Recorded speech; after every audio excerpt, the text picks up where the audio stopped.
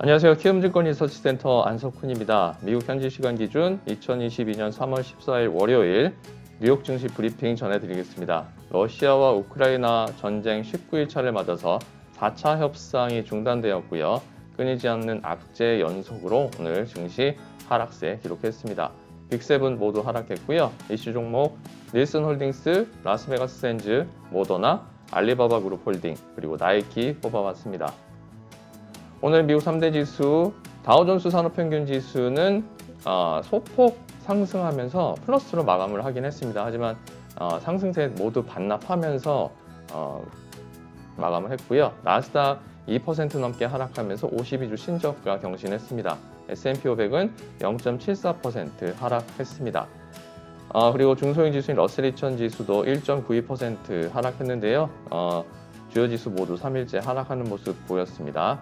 변동성은 다우가 1.76%, 나스닥이 2.89%, S&P 500 2%, 그리고 러셀 2000은 0.3% 어, 변동폭 나타냈습니다. 오늘 뉴욕 증시는 4차 협상 소식에 상승 출발을 했습니다. 하지만 2시간 만에 종료가 되었고요. 어, 내일 다시 협상을 재개한다는 소식에 반락하는 모습을 보였습니다. 그리고 미국과 중국은 고위급 회담을 이어갔고요. 러시아 같은 경우에는 내, 아, 수요일이죠. 16일 기준으로 1억 1,700만 달러 규모의 달러 표시 채권이자 만기가 돌아옵니다. 근데 이 만기에 대한 디폴트 우려가 커지면서 어, 전반적인 금융위기에 대한 우려까지 나오고 있는데요. 어, 뭐 글로벌 금융위기까지는 가지 않을 것이라는 게 대체적인 시각입니다. 그리고 중국에서 본토에 오미크론 확산세가 어, 커지면서 선전 지역이 봉쇄되었습니다. 이에 따라서 중국 ADR과 기술주가 크게 하락하는 모습 보였고요. 글로벌 공급망 우려가 더욱 가중되는 모습입니다. 이렇게 악재, 악재가 계속되면서 오늘 증시 어, 좋은 흐름으로 시작을 했지만 결국 하락하는 모습 보였고요.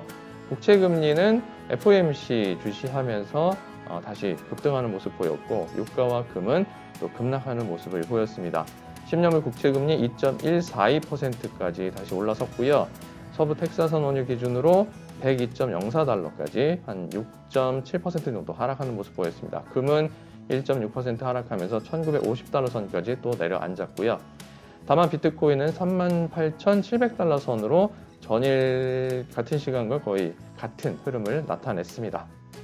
섹터의 경우는 11개 섹터 중에 4개만 상승했고 7개가 하락했습니다. 금융이 1.25% 상승하면서 가장 높은 상승률 기록한 반면에 에너지가 오늘 유가가 급락하면서 2.89% 크게 하락했습니다. IT 1.9%, 커뮤니케이션 서비스도 1.81% 하락하면서 오늘 전반적으로 나스닥과 S&P 500의 하락세를 어, 이끌었습니다.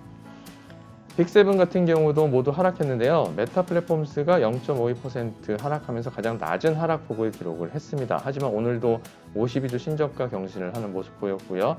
마이크로소프트 1.3%, 아마존 2.52%, 애플 2.66%, 알파벳 3%, 엔비디아 3.48%, 그리고 테슬라가 3.64% 하락했습니다.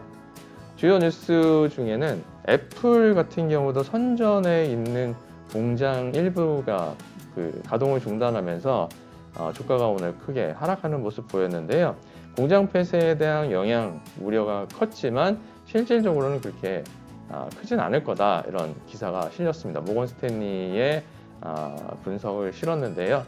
이와 함께 오늘 페이스 어, 메타 플랫폼스 같은 경우에는 뱅크 오브 아메리카가 지정학적 리스크로 인해서 유럽에서의 어, 매출이 좀 감소 하지 않겠나 이런 분석을 내놓으면서 목표 주가를 330달러에서 290달러로 하향 조정했습니다. 그리고 테슬라는 어, 지난 2020년부터 러시아산 알루미늄을 수입해서 사용하고 있다는 소식이 알려지면서 공급망 우려에 따른 비용 상승 그리고 비용 상승에 따른 이후 수요 감소로까지 어, 우려가 시장에 나타나면서 오늘 큰 폭의 하락세를 기록을 했습니다. 자, S&P 500 전반적으로 주가 흐름 살펴보면 기술주 커뮤니케이션 서비스 크게 하락하는 모습 보였고요. 오늘 경기 소비재에서도 아마존과 테슬라가 크게 하락하는 모습을 나타냈습니다. 또 나이키도 큰 폭의 하락세 기록했는데 뒤에서 다시 전해드릴 거고요. 오늘 에너지, 어, 엑선모빌, 쉐브론 등이 3% 내외 하락세 기록을 했습니다. 반면에 금융은 전반적으로 강한 모습 보였고요. 헬스케어도 오늘 상승세 기록을 했습니다. 산업재도 나쁘지 않았고요. 그리고 어, 소재 부분에서는 일부 특수화학 쪽은 상승하는 모습을 보였습니다. 그리고 필수 소비재 오늘 강보합하는 모습 나타냈습니다. 자, S&P 500 중에 가장 높은 상승률을 기록한 종목 살펴보면 소매 데이터 업체인 닐슨 홀딩스가 무려 30.5% 상승하면서 가장 높은 상승률 기록했습니다. 다음으로 방송 미디어 업체인 파라마운트 글로벌, 디지털 플랫폼 솔루션 업체인 이팸 시스템즈, 생물 제약 업체인 모더나, 종이 포장 솔루션 업체인 웨스트락, 사이버 보안 업체인 노턴 라이프락, 보험 업체인 신시네티 파이낸셜, 식음료 업체인 코나그라 브랜즈, 금융 서비스 업체인 노선 트러스트, 그리고 당뇨 의료기구 업체인 덱스컴이 S&P 500 상위 10개 종목에 랭크되었습니다. 오늘 닐슨 홀딩스 같은 경우에는 엘리엇 매니지먼트를 포함한 사모펀드 컨소시엄이 어, 동사의 부채를 포함해서 150달러 규모의 인수를 추진 중이라는 월스트리트 보도가 있었습니다. 이에 무려 30% 넘게 급등하는 모습을 보였고요. 이에 따라서 동종업체인 컴스코어는 2.76% 하락했습니다. 그리고 오늘 눈에 띄는 종목 중에 하나 이펜 시스템즈인데요. 러시아와 우크라이나 아, 추가 협상 소식에 오늘 10% 가까이 상승하는 모습 보였습니다. 반면에 S&P 500 하위 10개 종목 현황 살펴보면 카지노 업체인 라스베가스 샌즈가 11.89% 하락하면서 가장 부진한 모습 보였습니다.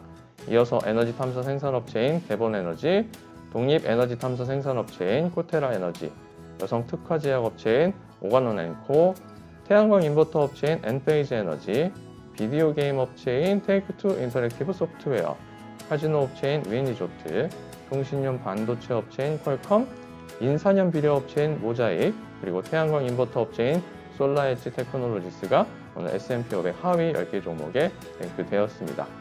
오늘 중국 본토의 코로나19 확산세 영향으로 인해서 최소 일주일 동안 선전 지역에 1,750만 명의 이동이 금지되었다고 합니다. 이에 따라서 마카오와 홍콩 여행 수요에 영향을 미칠 것으로 어, 우려가 커지면서 오늘 코, 그 카지노의 아, 코로 저기 마카오의 카지노를 보유하고 있는 업체들의 주가가 크게 하락하는 모습 보였습니다. 동종업체인 윈 리조트 7.51% 하락하는 모습 보였고요. 멜코 리조트 앤 엔터테인먼트도 9.51% 크게 하락세 기록했습니다. 자, 이어서 이슈 종목 살펴보도록 하겠습니다. 오늘 코로나19 중국 본토 내 재확산으로 인해서 생물제약 업체인 모더나가 8.59% 급등했습니다. 더불어서 동종업체인 바이오엔텍도 12% 급등했고요. 화이저도 3.94% 상승하는 모습 보였습니다. 또한 선전지역 공세에 따라서 중국 ADR의 급락세가 이어졌는데요.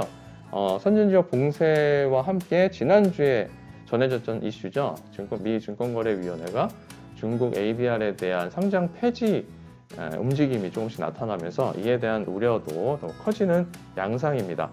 이에 알리바바 그룹 홀딩 오늘 10.32% 급락하면서 52주 신저가 경신했고요. 동종업체입니다. 중국 대표 3대 전자상거래 업체인 JD.com이 10.51%, 핀둬둬가 20.54% 급락하면서 모두 52주 신저가 경신했습니다. 그리고 오늘 스포츠웨어 업체인 나이키가 수급 문제가 지속됨에 따라서 아, 목표 주가 하향 소식이 전해졌습니다. 이에 주가 하락했는데요. 4.13% 하락하면서 52주 신저가 경신했습니다. 앞으로 실적 발표를 앞두고 있습니다. 21일에 실적을 발표하는데 오늘 UBS가 글로벌 공급망 문제가 동사 주가에 제대로 반영되어 있지 않다고 분석하면서 목표 주가를 192달러에서 173달러로 하향 조정했습니다. 그리고 이날 캐나다 채광 업체인 터쿼이즈 힐 지분 49%를 29억 달러에 인수한다고 발표한 리오틴토가 4.61% 하락했고요.